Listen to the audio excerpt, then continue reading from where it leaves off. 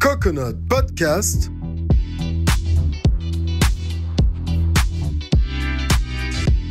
Pour son cinquième anniversaire avec votre animateur Alain Joe. Présenté par Masse.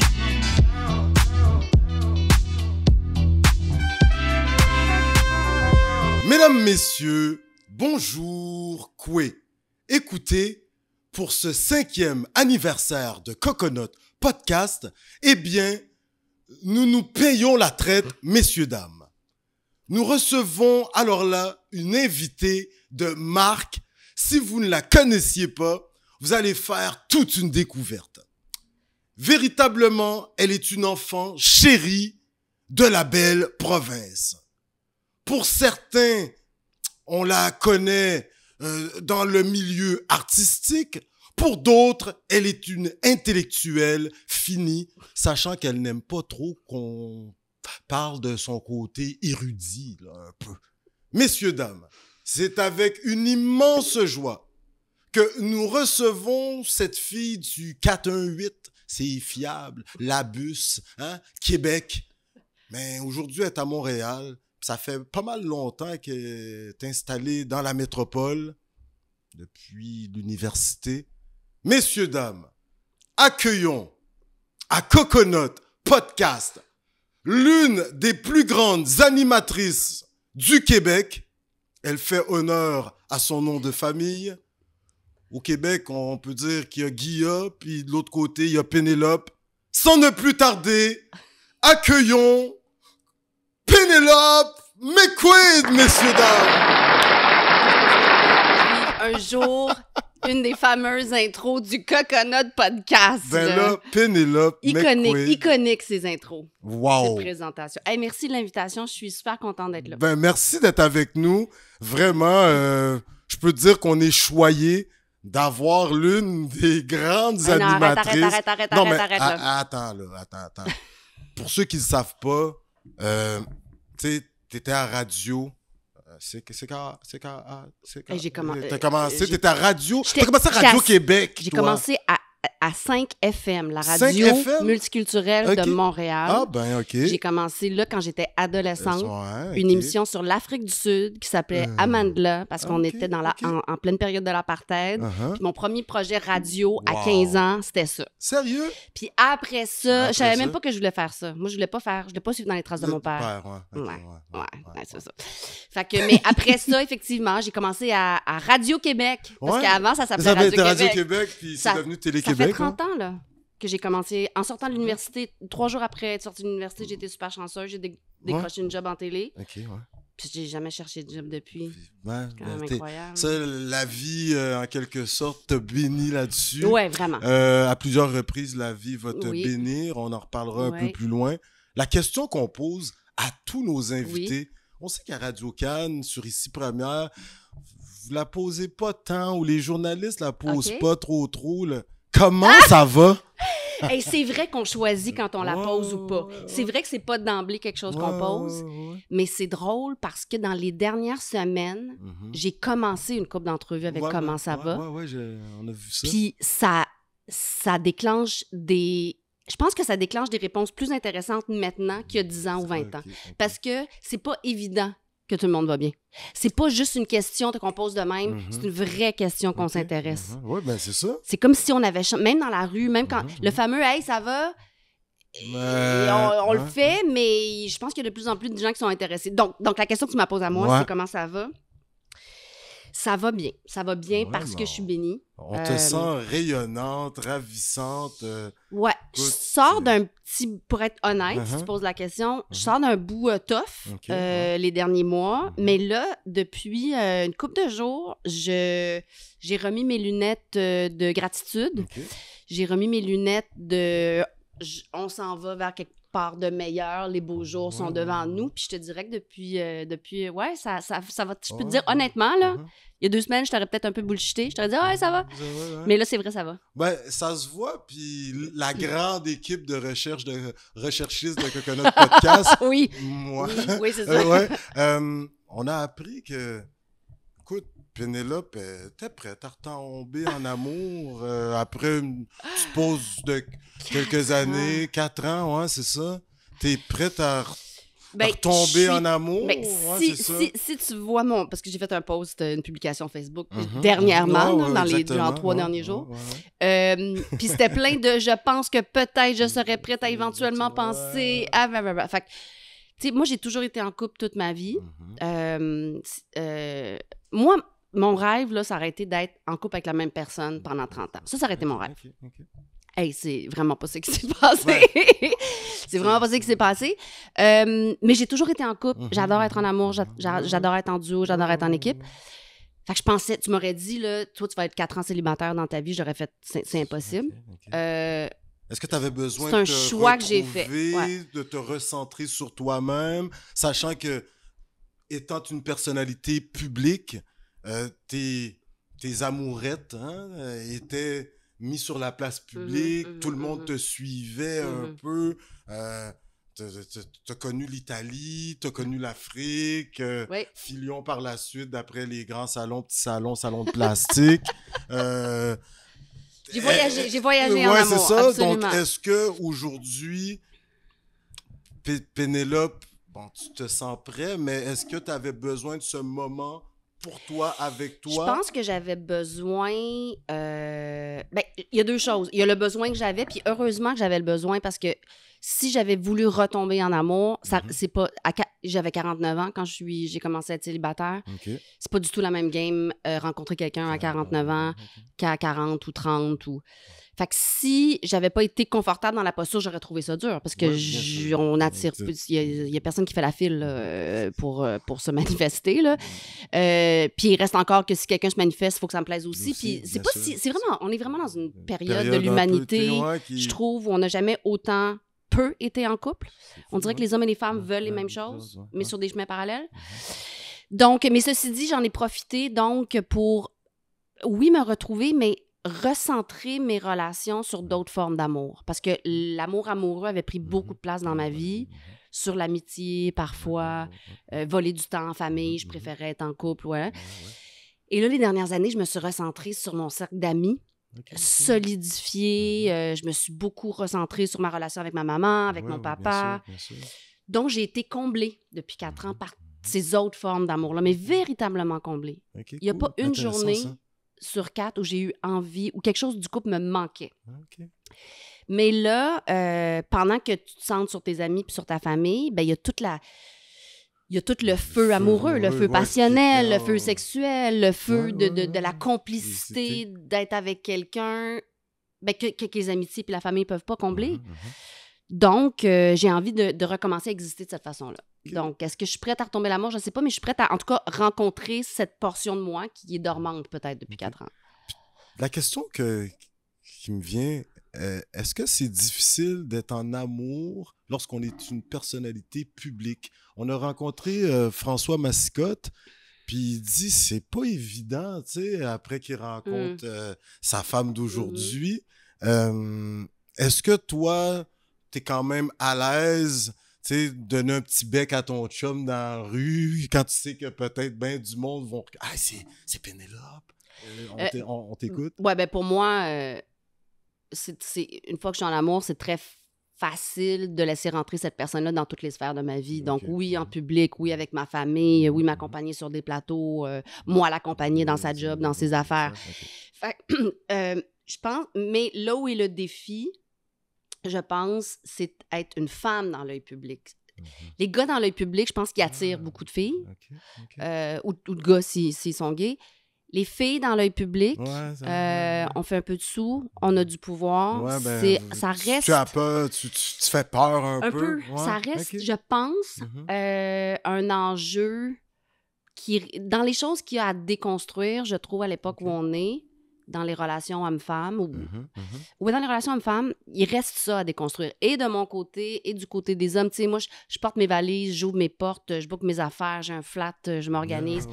Puis avec les années, je me suis rendu compte que les gars, ils ont besoin de porter les valises, ou envie. ouais, Ils ont envie. Puis c'est comme un. euh, C'est comme une, une, une, une ligne qui lance. Mhm. Puis quand, quand tu dis non à toutes ces petites lignes qui sont lancées, on n'est pas vraiment dans un partage. Mhm. Fait que, mais je te dirais qu'être une femme, personnalité publique, qui a du succès, c'est pas très sexy.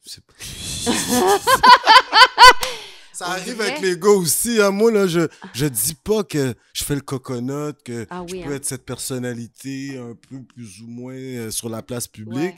Je le dis vraiment après la septième ah rencontre. Ah, pourquoi, pourquoi, pourquoi? Ben, pour que ça biaise pas la personne qu'on voit parce que, oh, je me suis déjà fait dire, ah, toi, tu viens de la haute, hein? Puis, tu sais, j'étais ah comme, oh my God. si moi, je suis de la haute, les amis que je connais, ils viennent d'où, eux autres, tu sais? C'est comme si on se sentait menacé par des mm-hmm. gens qui, mm-hmm. qui, qui, qui, font ou qui essaient de faire de grandes mm-hmm. choses, ou s'élever, ou élever les autres, ou puis être dans l'œil public. On, est, on, demeure dans une société très judéo-chrétienne. Ben, c'est ça, on se comprend. Fait que, mais, fait que je sais pas où est-ce que tout ça va mener, euh, cette, cette, ligne que moi-même j'ai lancée à l'eau. On verra bien. Tu as parlé d'un aspect qui est intéressant. Euh, une femme qui a du succès, personnalité publique, avec toutes les interventions que tu fais à la mmh radio, mais également avec cette collaboration avec Alain La Bonté, c'est bien ça? Oui. Euh, j'aime les femmes. Moi aussi, j'aime les femmes. Moi aussi, j'aime les femmes. Euh, écoute, paru en 2019, mmh c'est bien ça? Il y a une journaliste qui va faire une critique, Nathalie Collard, je pense bien, et elle va écrire ceci. Elle va dire, ben, de ton livre, ah. c'est un passage que tu dis aujourd'hui, là, euh, un gars qui se dit pas féministe, là, ben, c'est qui est sexiste. Hein? oui, j'ai dit ça. Puis mm. c'est une posture quand même euh, d'aujourd'hui est-ce que Pénélope, elle se considère comme féministe? On t'écoute? Absolument. Euh, puis je pense que c'est plus facile de le dire aujourd'hui. Moi, je, viens d'une mère féministe. OK, euh, France Rivard. Exact. Uh-huh. Je viens d'une mère euh, féministe. Ma mère avait 21 ans dans les années 70, donc elle est en train. Tu sais, le Québec s'émancipait, elle s'émancipait en même temps. Moi, je suis née, elle avait 21 ans dans ce Québec-là en, émancipation. Mm-hmm. Le féminisme, c'est aussi s'extraire de la religion, c'est aussi s'extraire d'un modèle mm-hmm. euh, patriarcal dans sa famille, mm-hmm. c'est aussi vouloir faire les choses différemment. Ceci dit, ça ne l'a pas empêché d'élever trois enfants, euh, puis de ne pas avoir une carrière, même si elle était féministe. Donc, je trouve que le féminisme, il n'est pas mm-hmm. obligé de se hum, vivre le point en l'air. Moi, je choisis de le faire de cette façon-là. Mais je pense que c'est une question de, de, d'abord et avant tout d'égalité des chances. Puis je pense que force est de constater que les femmes, si c'est pas chez nous, à l'échelle de la planète, se portent pas bien. les droits des femmes ne se portent pas bien. Ici, euh, même, même ici, même ici, absolument, on n'est encore pas là. Féminicide, violence conjugale. Euh, euh, mais c'est parce que souvent, quand on dit au Québec qu'on est féministe, on se fait ramasser en disant ben oui mais ici vous avez tout tu sais vous avez acquis des grands droits puis là, je fais mm-hmm. OK parfait donc si c'est pas une assez bonne raison pour toi de continuer à militer pour les droits des femmes ici parlons à l'échelle planétaire puis nos voix euh, nos voix portent mm-hmm. Ceci dit, euh, je pense qu'un féminisme d'action est mm-hmm. plus, pour moi, est plus porteur qu'un féminisme de parole. Quoi que c'est important parce que quand on, quand on, quand on s'entend, quand on entend la parole des femmes, ça donne le droit à d'autres femmes d'avoir cette parole-là. Fait que je pense que c'est important de se, de se nommer. Mais je pense que c'est plus important euh, de s'assurer que dans qu'on met son euh, put your money where your mouth is. Euh, donc, faut aussi que moi je pose des actions féministes mm-hmm. dans ma vie autour de moi pour l'égalité des femmes, de toutes les femmes, pour leur donner de la place pour chaîner.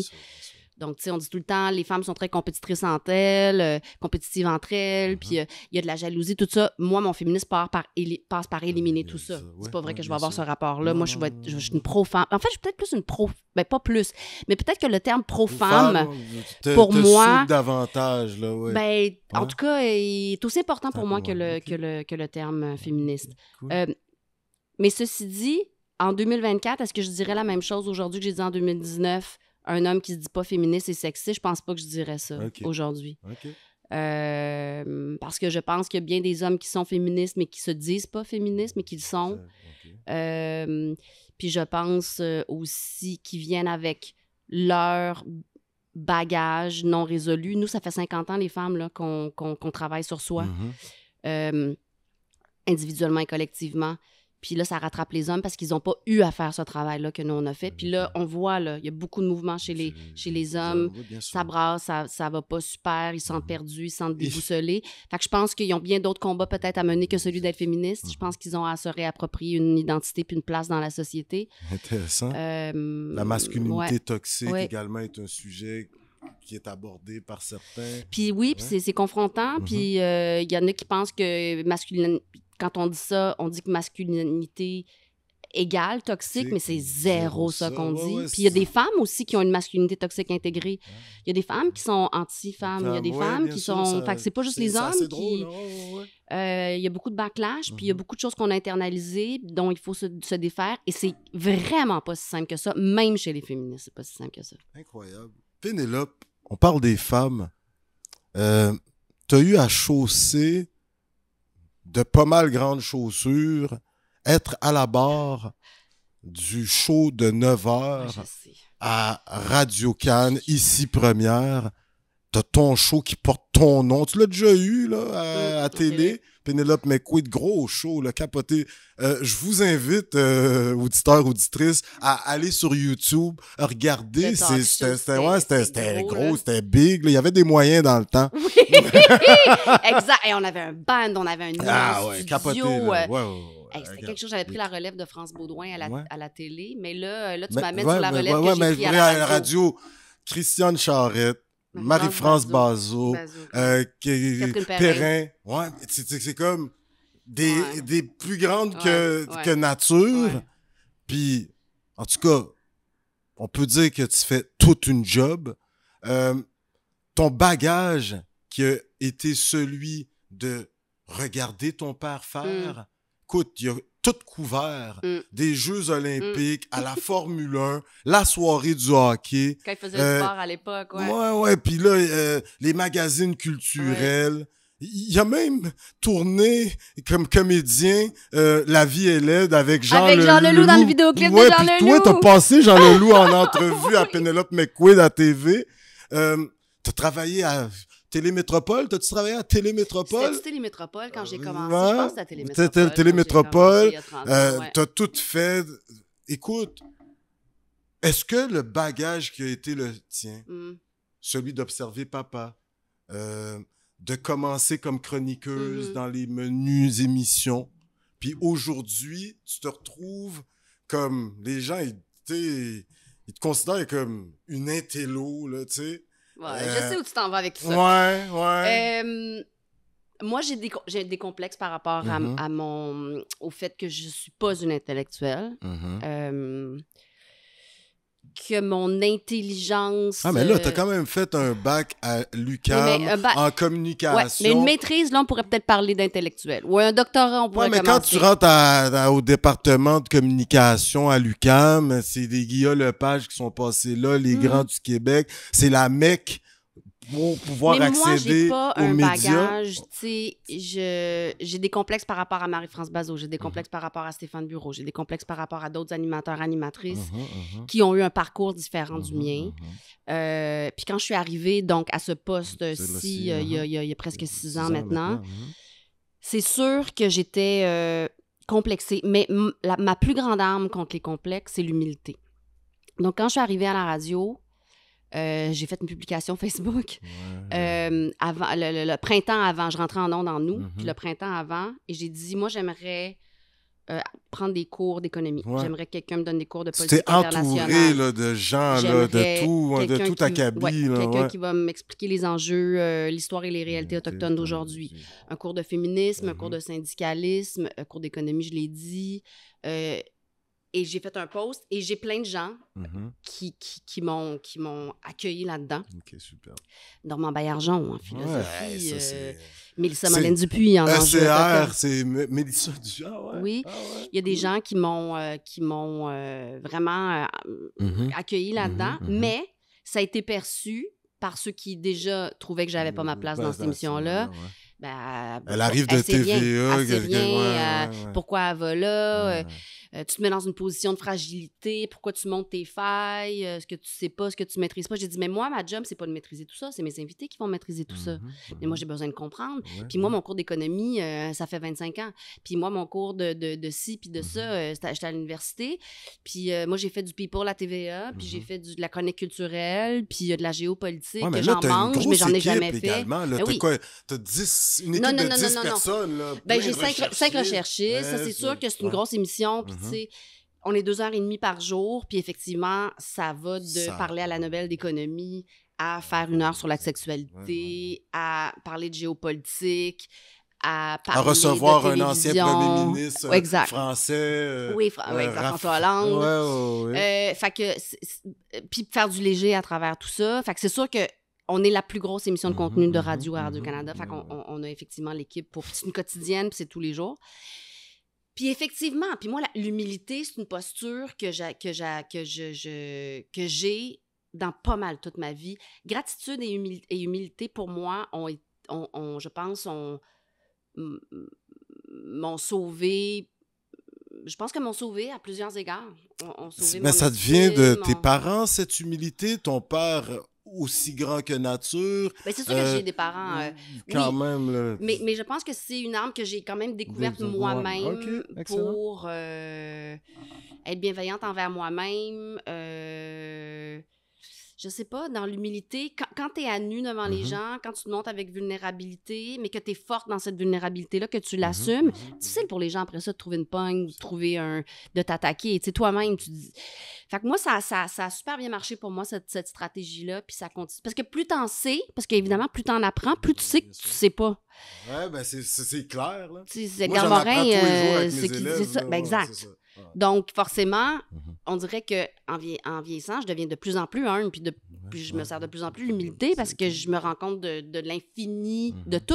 Là, on parle juste de connaissances intellectuelles, mais le fonctionnement de nos émotions, euh, nos rapports humains, euh, mhm. tu sais, on, c'est quelque chose qu'on sait, c'est qu'on sait rien. On sait rien sur l'autre qui est face à nous, jamais. jamais. Jamais. Euh, ton père, près de 83 ans, 84 ans. Il vient d'avoir 81. 81. Euh, il se tient occupé encore. Ben, Culture 2.0. Oui. Moi, ouais, j'aimerais que euh, tu nous en parles mm. vite, vite. C'est-tu Madame Fauche? Non, hein? c'est, elle s'appelle. Euh, oui, c'est ma belle-mère. Elle s'appelle Sylvie. Sylvie, oui. Mm-hmm. Et Sylvie Harvey. Mm-hmm. Elle joue avec l'Orchestre métropolitain, violoniste avec euh, Yannick Nézet-Séguin, donc ils sont rencontrés comme ça. Et puis lui, mon père, il a toujours fait de la, la, chronique culturelle, il mange de la culture. mais il fait au moins une dizaine d'entrevues par semaine. moi, j'ai commencé à regarder ça. Sur YouTube, puis il y a sa chaîne, puis le culturel 2.0, puis ils font des entrevues de 10, 15, 20 minutes des fois. T'écoutes-tu des fois? Ben oui, ça m'arrive d'écouter. Ah puis des fois, il y a des invités qui viennent dans mon studio mm-hmm. euh, à, Radio-Canada, puis après ça, ils s'en vont faire une entrevue chez mon père, ou qui ont fait une entrevue, ou mon père, il entend l'entrevue, puis ils appellent après pour les bouquets. Hey, t'es allé chez ma fille, euh, viens chez nous. Ouais, OK, nice. Euh, fait que ça, c'est très cool. On partage, tu sais, on partage ça. Puis ça marche du feu de Dieu, là, ces, chroniques. là, ça. le garde très, très, très actif. Je pense qu'il sort 5-6 soirs par semaine. Ça n'a pas d'allure. Je sais pas où il prend son énergie. T'as un petit neveu, ça de l'air? Hein? J'ai des nièces. Ouais, ouais, ouais. Mais un, tout nouveau, là, euh, ça se peut-tu? Euh, Sean, il y a eu euh, Nicolas. Ah, OK, c'est parce que tu vois ça sur, sur les affaires à mon père. on a une équipe de recherchistes, là, nous autres, là. Oui, fait que j'ai un frère au Costa Rica euh, ben, qui a deux grands-enfants, mais qui a uh-huh. trois jeunes enfants, là, avec euh, sa femme des dernières années. Fait que uh-huh. oui, petit-neveu. Euh, Hablas espagnol poquitito con ellos? O, ouais, je parle pas espagnol. Non? Non, je parle pas espagnol, je sais. Eh, non. Tu parles, parles anglais, tu faisais, tu faisais des émissions en français, puis t'allais à CBC, puis t'as fait en anglais. J'étais comme, oui, français anglais, ça va. Ben, un petit peu d'italien, mais pas tant. Puis pas mal tout. Mm-hmm. mais, mais surtout, c'est que euh, ma mère, avant de, décéder il y a un an, mm-hmm. Euh, elle a rencontré sa petite fille qui avait mm. six mois, euh, quelques mois. fait qu'il y a des bébés. Oui, il y a des jeunes autour, il y a des bébés. J'ai une grande, j'ai une grande filleule de 22 ans qui s'appelle Luna, que ma meilleure amie a adoptée en Haïti il y a 22 ans, de qui je suis super, super proche. la fille de mon autre frère, Greg Grace qui vient de rentrer à Brébeuf où moi je suis allée. elle vient oh. juste de rentrer. Fait que là, mm-hmm. c'est comme, y a comme une filiation, tu sais, de mon grand-père à moi, à, de mon père à moi, à elle. Tu sais, en communication, clairement, c'est là-dedans qu'elle va être. T'aurais-tu ça aimé en avoir? Des enfants? Ouais. Écoute. Tu veux-tu en avoir? C'est possible, tu peux en adopter. Moi, j'en ai jamais voulu. C'est-à-dire, jeune, j'en voulais pas. À 15 ans, je savais que j'en voulais pas. Puis là, les gens me disaient, attends à 20, attends à 25, attends à 30.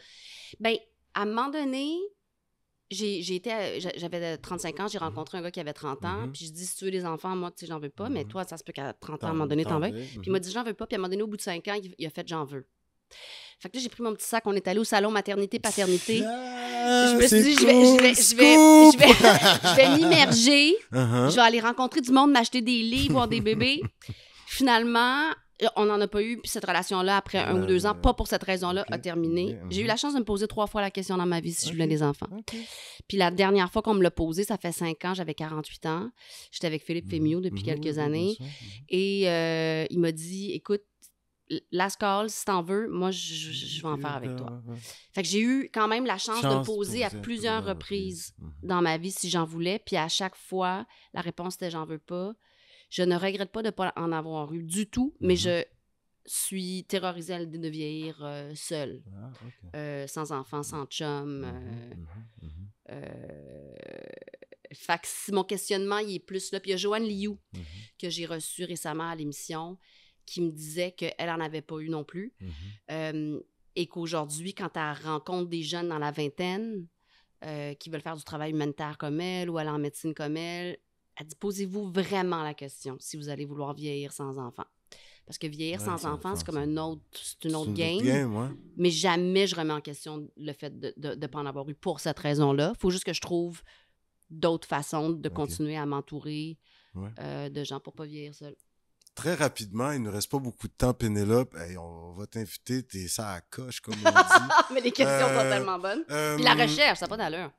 Sans et la hein? recherche. je le sais, sans je le sais. Danny, euh, Danny je Turcotte, sais. on l'a reçu, il disait, hey, t'es meilleur que Je sais, j'ai pas le dire. Sans, note. Tu sais, m'a dit ça, j'étais comme, ben là, non, moi, j'ai juste pas de gens qui me font des petits cartons. T'as écrit tes livres. Nathalie Collard, dans une critique, a dit, euh, ah, je ah, la ouais, cite. Comment ça, t'as cite? T'as, pas, t'as même pas la citation devant toi. Euh, Pénélope, pour pouvoir t'évader, mm. euh, on on a comme compris que la nature mm. était très importante pour toi, les randonnées. Mm-hmm. Euh, une petite question de même, on sait que ton père, euh, le tennis, il a déjà été président de la fédération de tennis. Euh, est-ce que le sport est quand même partie prenante de ta vie un petit peu. Euh, si on t'invite à aller jouer au badminton, tu vas-tu venir? Euh, tu, tu gères-tu ta raquette? Ben, on va, on va, je vais y aller. Amateur, hein? Pour ça que j'ai mis mon. Ah oui, ouais, J'ai gradué à l'UQAM en éducation. Mais toi, ben, tu jouais-tu au badminton? J'y allais tous les midis qu'on avait ah deux cours. Puis j'avais trouvé un collègue, un camarade de classe. Puis il m'a dit hey, Joseph, on va-tu jouer euh, au, badminton? ça, ça remontait à belle lurette. Ouais, j'avais ma raquette, mon moineau, puis tout, tout, tout. En fait, je répondrais oui à une invitation sportive, mais pas pour le sport. bon, on va aller voir les raquettes de Laval. Mais j'irais, j'irais jouer au badminton une fois. Mais je ne deviendrais pas une joueuse de badminton. Mm-hmm. J'irais jouer au tennis avec quelqu'un une fois, que mm-hmm. depuis mon accident, il y a des sports que je peux pas faire. Mais, euh, mais non, moi, le seul sport que je pratique, c'est le yoga. J'en fais peut-être 4-5 heures par semaine. Euh, randonnée, ça fait au moins un an que j'en ai. Ah non, je suis pas mhm. vrai, j'en ai fait cet été. Euh, puis, euh, mais non, je suis pas une grande sportive du corps. Je suis une mhm. sportive du cerveau. Je suis une sportive de l'émotion. Mhm. Puis moi, quand j'ai besoin de me ressourcer, j'ai besoin de me calmer. J'ai pas besoin de me dépenser. J'ai besoin de me calmer. Fait que yoga plus que. Mais badminton, là, ça m'intrigue. Hein, ça m'intrigue, ben, le badminton. On va t'inviter d'abord. Bon, on va t'inviter. Pénélope, pour terminer, très rapidement ta mère, en nous quittant en 2023, elle va laisser, ouais, exactement. Euh, tu sais, ça n'a pas été facile parce que toi, tu es né, tu es une Sagittaire, toi, là, le fin novembre. Puis ça s'est passé un peu dans ces périodes-là. Mais elle a laissé tout plein de livres. Ton père, il y a tout plein de livres aussi. On le regarde, comme une bibliothèque. Tu regardes ça tu yeux, toi aussi. Tu sais où sont allés les livres de ma mère? Ben oui, c'est pour ça que j'arrive avec ça. Ils sont allés? Euh, dans un centre de détention. Ouais, c'est ça, à Bordeaux. Puis euh, Lofty, Lofty. Ouais, ouais Lofty, qui fait les souverains anonymes. Oui, ben c'est ça. Ce projet depuis une 20, 20, plus que 20 ans maintenant. C'est magnifique, ça. Hein. On tient à dire chapeau bas parce que tu as pris ces livres-là, tu les as remis à M. Lofty. Là, Il m'a écrit, j'ai remis 37 hein? boîtes de livres. Euh... T'en as-tu gardé quelques-uns? J'en ai gardé, j'en ai gardé. J'ai fait un open house de ma mère. J'ai ouvert ah, ma page Facebook. Euh, venez vous choisir des mm-hmm, livres. Il y a plein de femmes qui sont venues avec leurs mm-hmm, adolescentes. C'était tellement beau à voir. Euh, puis après ça, il, me reste, il en restait ma mère avec des milliers de livres. Fait que je les ai envoyés. C'est la dernière édition de ce, cette grande foire du livre organisé par euh, Lofty, ou du moins qui participe. Oui. Fait que les souverains anonymes, lui, a décidé de distribuer, faire la distribution de livres à chacun des détenus qui participaient à ce projet-là. Ils se sont retrouvés avec, toutes sortes de livres. T'en as-tu déjà reçu des détenus à ton émission? Il me semble que c'est très en vogue des ex-détenus. OK, euh, ouais, parce que comme nous, on se déplace pas. Oui, mm-hmm. j'ai reçu des ex-détenus hommes, des ex-détenus femmes, mm-hmm. euh, effectivement. Euh, donc, c'est une réalité. Puis ma prof de yoga, elle enseigne le yoga à Bordeaux aussi auprès des détenus. Euh, c'est confrontant mm-hmm. parce qu'on se demande le droit à la deuxième chance, mm-hmm. le droit à la, rédemption, le droit à une euh, sainteté d'esprit, mm-hmm, bien sûr. même si on a commis des gestes terribles. Fait que c'est confrontant. Moi, j'aime les choses qui sont, confrontantes. j'aime j'aime j'aime poser des actions puis j'ai pas les réponses du pourquoi puis même si j'endose pas je mhm. trouve que quand même bâtir des ponts, c'est hyper, important. Pour finir, en une minute, c'est quoi qui s'en vient pour Penelope McQuaid? Qu'est-ce que tu es en train de nous, nous remuer là, dans ta grande chaudière? Hein? de sorcière? Ben, je me traiter de sorcière. De, de, de, cuisinière. Ouais, de cuisinière. Euh, je le sais pas, puis c'est exactement comme ça que je veux. Euh, c'est comme ça que j'ai vécu toute ma carrière. Je sais, je prévois jamais d'avance. Mm-hmm. J'aime jamais signer des contrats euh, mm-hmm. plus qu'un an à la fois, deux max. Mm-hmm. Euh, je le sais pas parce que je veux me surprendre moi-même. Je veux être surprise par la vie. Quand on a un plan, des fois, ça nous empêche de voir ce qu'il y a autour. Je sais que j'aimerais faire l'émission que je fais pendant encore 10 ans, mais mm-hmm. c'est très exigeant. Fait que je sais que ça se pourra pas encore super, super longtemps. Ouais, mais Patrick Masbourian, tous les matins, vous vivez à des heures de malade. c'est en plein milieu de la nuit. Là. Ah, Puis, euh, fait que hein. moi, mon, mon, mon, mon but, c'est de. Mais je sais pas avec cette, cette, cette, cette nouvel élan de, de peut-être m'ouvrir, ouvrir mon cœur à quelqu'un. Mm-hmm, euh, mm-hmm.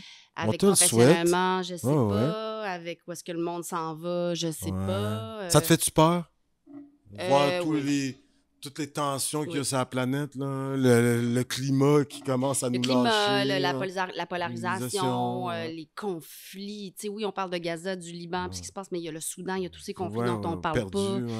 Il y, a des, il y a des mm-hmm. génocides qui se passent, puis on a comme oublié les leçons qu'on avait Les trolls qui trollent euh, sur... Euh, ben, c'est ça, toute cette violence, toute cette violence-là, effectivement, sur les réseaux mm-hmm. sociaux, l'état du monde, beaucoup de responsabilités sur le dos des jeunes, je trouve ça tough. mais en même temps, il y a des grandes poches de lumière. Puis heureusement que je fais cette émission-là, parce que je rencontre des gens comme l'ex-général Roméo Dallaire, qui est un partisan de la paix. Puis... Oh, mais c'est incroyable. Fait que oui, je suis inquiète, je suis apeurée, euh, je suis... Euh, mais en même temps, je ne peux pas faire autrement que garder espoir, là, puis d'essayer de faire partie de la solution.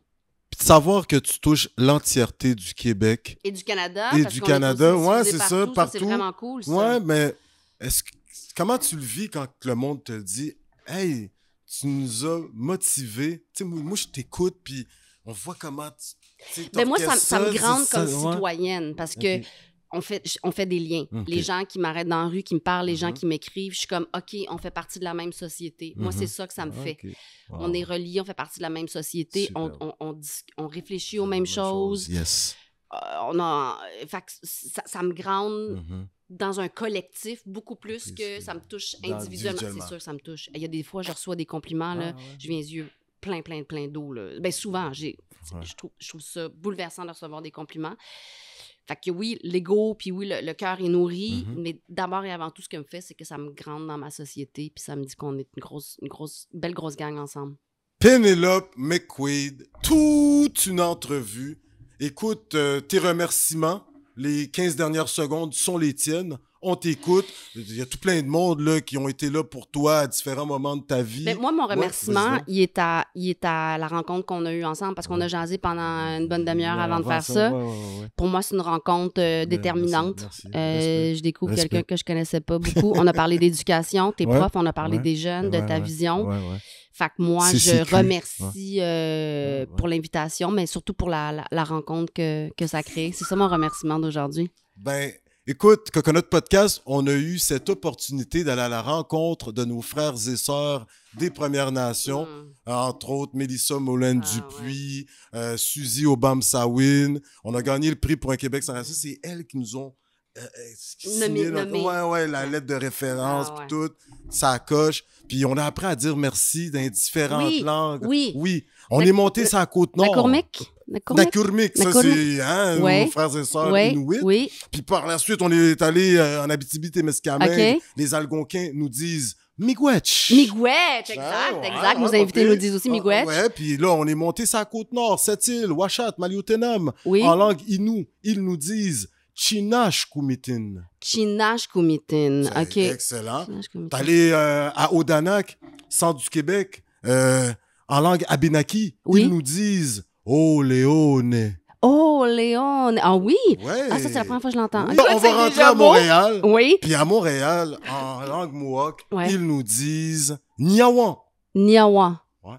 Puis en créole?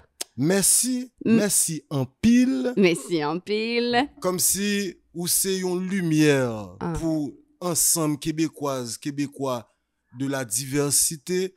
Se yon plezi ke nou resevo anjodi ya, nou kwazo pou pwemye fwa nan gala dinasti, Karla Bové, ou mm. an 2020 te fe bel entrevou, te bay Karla mikro pou l'pale, hmm. Fabrice Ville, kom si mm. ou supporte diversite an anpil, ou poter un nom anglophone, mais mm Alors, Kimbela, Palagé.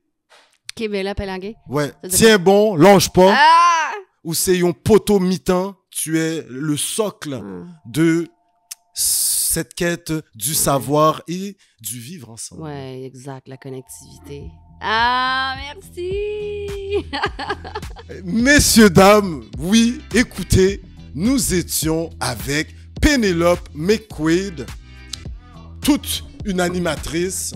Je vous invite à la suivre au 95.1 ici première sur les coups de 9h 3, 4, 5, 6 après le bulletin de nouvelles. Puis c'est Pénélope qui embarque. Sinon, elle est là à 55 sur euh, Masbourian également, à tout un matin. Puis elle nous dit de quoi qu'elle va parler. C'est toujours incroyable. Alors, messieurs, dames, yo, je Pénélope. Yo, messieurs, dames, mm, bah yo, mêlé. Sur ce, on vous dit, on se revoit pour un prochain épisode de Coconut Podcast. Merci, Niawan, au revoir, ciao Olé, olé, olé, olé